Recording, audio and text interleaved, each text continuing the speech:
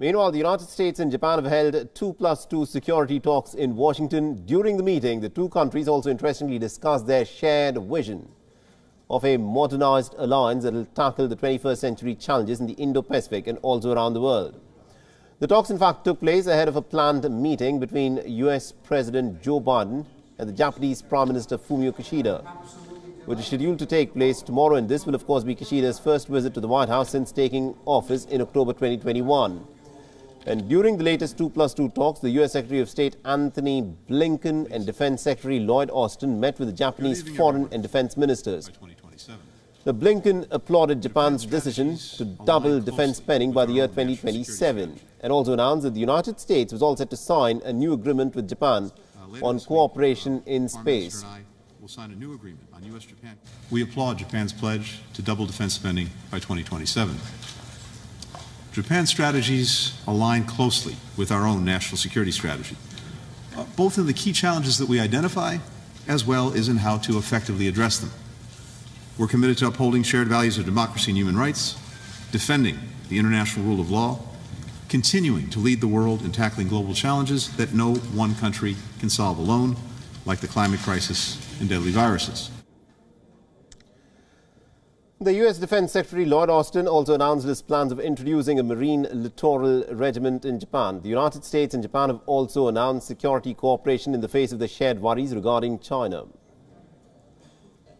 I'll close by reiterating that the U.S. Japan alliance remains a cornerstone of our Indo Pacific strategy, and it's critical to upholding a free and open regional order. Our alliance is stronger than ever, building on a foundation of teamwork, trust, and shared values that, that has underpinned our relationship for decades. During a press briefing, Blinken said that the People's Republic of China is the greatest shared strategic challenge that Washington and its allies presently face. Meanwhile, Biden and Kishida are expected to discuss security issues and the global economy during the talks.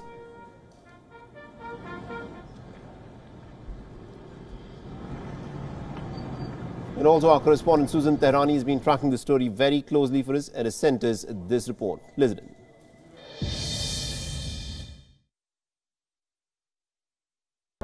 It was a meeting aimed at boosting security and military cooperation between the United States and Japan as U.S. Secretary of State Antony Blinken and Defense Secretary Lloyd Austin met with their Japanese counterparts on Wednesday for the first time in a 2 plus 2 format. The discussions covered a wide range of issues, bringing the two longtime allies even closer due to the ongoing threats posed by China in the region, not to mention North Korea. Noteworthy was the adjustment, not increase, of U.S. troops in the Japanese island of Okinawa. Okinawa is significant. It was the site of one of the bloodiest ground battles at the end of World War II, and the island hosts more than half of U.S. troops in Japan.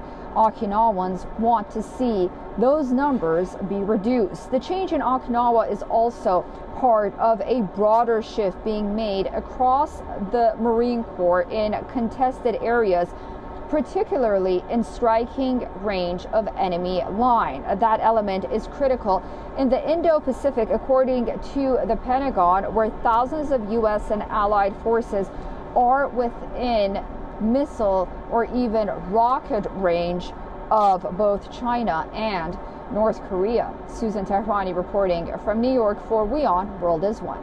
WION is now available in your country. Download the app now and get all the news on the move.